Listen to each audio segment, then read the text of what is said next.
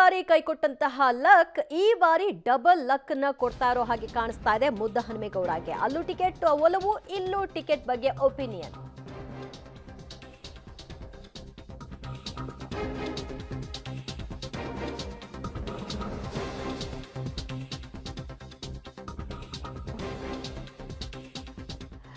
ಕಳೆದ ಬಾರಿ ಕೈ ಕೊಟ್ಟಂತಹ ಲಕ್ ಈ ಬಾರಿ ಡಬಲ್ ಕೈ ಹಿಡಿದ ಹಾಗೆ ಕಾಣಿಸ್ತಾ ಇದೆ. ಅಲ್ಲೂ ಟಿಕೆಟ್ಗೆ ಒಲವನ್ನ ತೋರಿಸ್ತಾ ಇದ್ದಾರೆ. ಅರ್ಥಾತ್ ಕಾಂಗ್ರೆಸ್ನಿಂದ ಈ ಕಡೆಗೆ ಬಿಜೆಪಿ ಕೊಟ್ಟರು ಕೂಡ ಇಲ್ಲೂ ಸ್ಪರ್ಧೆ ಮಾಡೋದಕ್ಕೆ ಅವರು ನಿಶ್ಚಯಿಸಿರೋ ಹಾಗೆ ಕಾಣಿಸ್ತಾ ಇದೆ. ಮಾಜಿ ಸಂಸದ ಮುದ್ದ ಹನುಮೇಗೌಡ.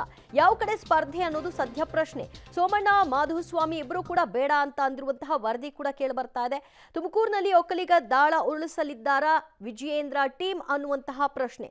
ತುಮಕೂರಿನಲ್ಲಿ ಮಾಜಿ ಸಚಿವರ ಕಾಳಗಕ್ಕೆ ಟ್ವಿಸ್ಟ್ ಸಿಗಬಹುದಾದ ಸಾಧ್ಯತೆ. ಬಿಜೆಪಿ, ಜೆಡಿಎಸ್ ಮೈತ್ರಿ ಇರುವ ಕಾರಣ ಒಕ್ಕಲಿಗ ಕಾರ್ಡ್ ಪ್ಲೇ ಮಾಡೋದಕ್ಕೆ ಈಗ ಪ್ಲಾನ್ ಅನ್ನ ಮಾಡಿಕೊಂಡಿದ್ದು, ಇಬ್ಬರ ಜಗಳದಲ್ಲಿ ಮುದ್ದ ಹನುಮೇಗೌಡಗೆ ಲಾಭ ಆಗುವಂತಹ ಸಾಧ್ಯತೆ ಇದೆ. ಈಗಾಗಲೇ ಅವರು ಕಾಂಗ್ರೆಸ್ ಸೇರ್ಪಡೆ ಆಗ್ತಾರೆ. ಕಾಂಗ್ರೆಸ್ನಿಂದ ಅವರಿಗೆ ತುಮಕೂರಿನಲ್ಲಿ ಟಿಕೆಟ್ ಕೊಡ್ತೀವಿ ಅಂತೆಲ್ಲ ಹೇಳಿಕೆಗಳನ್ನು ಕೊಡಲಾಗ್ತಾ ಇತ್ತು. ಸೊ, ಇದರ ಬೆನ್ನಲ್ಲೇ ಬಿಜೆಪಿ ಕೂಡ ಅಸ್ತ್ರವನ್ನ ಪ್ರಯೋಗ ಮಾಡ್ತಿರೋ ಹಾಗೆ ಕಾಣಿಸ್ತಾ ಇದೆ. ಈ ಬಗ್ಗೆ ಮತ್ತಷ್ಟು ಮಾಹಿತಿ ಕೊಡ್ತಾರೆ ನಮ್ಮ ಪ್ರತಿನಿಧಿ ಮಸೂದ. ಮಸೂದ, ಕಳೆದ ಬಾರಿ ಟಿಕೆಟ್ ಸಿಗಲಿಲ್ಲ ಅನ್ನುವಂತಹ ಬೇಸರ ಇತ್ತು. ಆದರೆ ಈಗ ಎರಡೆರಡು ಕಡೆಗಳಿಂದ ಆಫರ್ ಬರ್ತಾ ಇದೆ. ಸೊ ಅವರ ಒಲವು ಯಾವ ಕಡೆಗೆ ಹೆಚ್ಚಿದ್ದ ಹಾಗೆ ಕಾಣಿಸ್ತಾ ಇದೆ. ಅಥವಾ ಬಿಜೆಪಿಯಲ್ಲಿ ಇಬ್ಬರ ಜಗಳ ಇವರಿಗೆ ಲಾಭ ಆಗಬಹುದಾ? ದಿವ್ಯ ತುಮಕೂರು ಲೋಕಸಭೆ ಕ್ಷೇತ್ರವು ಕೂಡ ತುಂಬ ಹೈ ವೋಲ್ಟೇಜ್ ಆಗ್ತಾ ಇದೆ. ಯಾಕೆಂದರೆ ಅಲ್ಲಿ ಮಾಜಿ ಸಚಿವ ವಿ ಸೋಮಣ್ಣ ಅವರು ಬೆಂಗಳೂರಿನಿಂದ ತುಮಕೂರಿನಲ್ಲಿ ಸ್ಪರ್ಧೆ ಮಾಡಬೇಕು ಅನ್ನುವಂಥ ಒಲವು ತೋರಿಸ್ತಾ ಇದ್ದಾರೆ. ಈಗಾಗಲೇ ಅದಕ್ಕೆ ಸಂಬಂಧಪಟ್ಟಂತೆ ತುಂಬ ಓಡಾಟ ಕೂಡ ಮಾಡ್ತಾ ಇದ್ದಾರೆ. ಇನ್ನು ಸ್ಥಳೀಯ ಆಗಿರುವಂತಹ ಮಾಜಿ ಸಚಿವ ಜೆ ಸಿ ಮಾಧುಸ್ವಾಮಿ ಅವರು ಕೂಡ ತುಮಕೂರು ಲೋಕಸಭೆ ಟಿಕೆಟನ್ನು ಬಿ ಜೆ ಪಿಯಲ್ಲಿ ಕೇಳಿದ್ದಾರೆ. ಅವರಿಬ್ಬರ ನಡುವೆ ಟಿಕೆಟ್ ಫೈಟ್ ನಡೀತಾ ಇದೆ.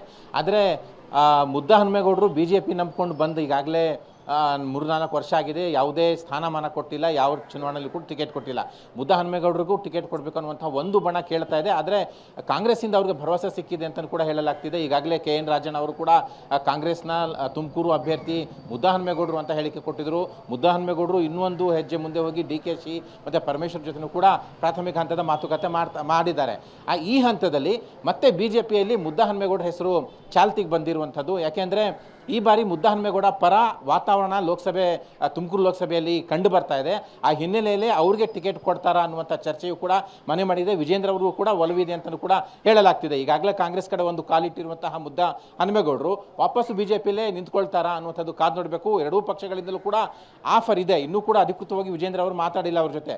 ಆದರೆ ಮುದ್ದ ಹನುಮೇಗೌಡ ಪರ ವಾತಾವರಣ ಇರೋ ಹಿನ್ನೆಲೆಯಲ್ಲಿ, ಜೊತೆಗೆ ಚುನಾವಣೆಯಲ್ಲಿ ಗೆಲ್ಲೋದೇ ಮಾನದಂಡ ಆಗಿರೋ ಹಿನ್ನೆಲೆಯಲ್ಲಿ, ಆ ಮುದ್ದ ಜೆ ಪಿಯಲ್ಲೂ ಕೂಡ ಟಿಕೆಟ್ ಆಫರ್ ಇರುತ್ತಾ ಅನ್ನುವಂಥದ್ದು ಚರ್ಚೆ ನಡೀತಾ ಇದೆ. ಇನ್ನೊಂದು ಎರಡು ಮೂರು ದಿನಗಳಲ್ಲಿ ಈ ಸಂಬಂಧಪಟ್ಟಂತೆ ಸ್ಪಷ್ಟತೆ ಕಂಡುಬರುತ್ತೆ ದಿವ್ಯಾ. Thank you Masood. ನಿಮ್ಮೆಲ್ಲ ಮಾಹಿತಿಗೆ.